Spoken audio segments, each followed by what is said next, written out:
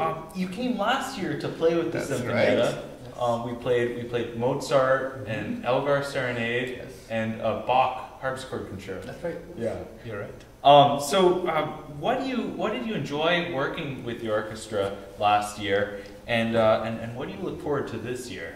Sure. Um, well, I felt like, you know, last year we really wanted to cover as many styles as possible. I would say. You know, also wanted to feature some of the musicians from the orchestra, from you know from the school. So I felt like the Mozart was a really nice way to do that uh, because it has it's, it's called a Serenata Nocturna, you know, and it has uh, two solo violins, uh, solo bass, and solo viola, I believe.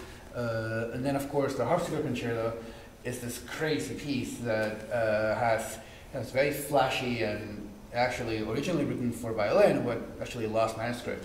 So thank you to you guys because that was my very first time playing that piece. And I was about to take it on tour, uh, and it's actually extremely helpful to really work on it together and kind of explore things.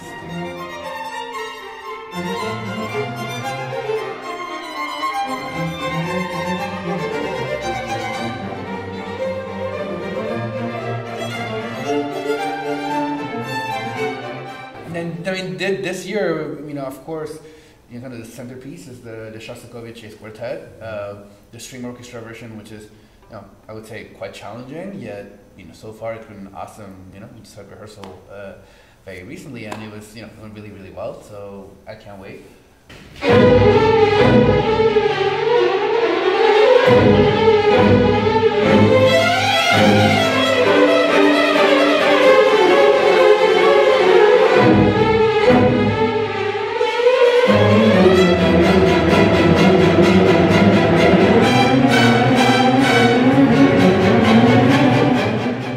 Second of all, it's actually really nice to have more time with you guys. Also, last time there was some issue with flights, so I really only had a day and a half. Uh, Oh, yeah. I work on it, Yeah. remember? Mm-hmm. Uh, but this time, you know, we'll have really much more rehearsal time, uh, so that'll be super fun to do.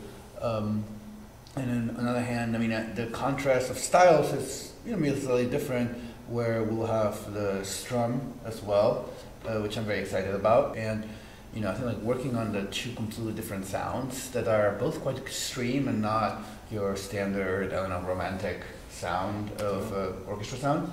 Um, yeah, I think the more we explore, the kind of the further we go, uh, the better the performance will be.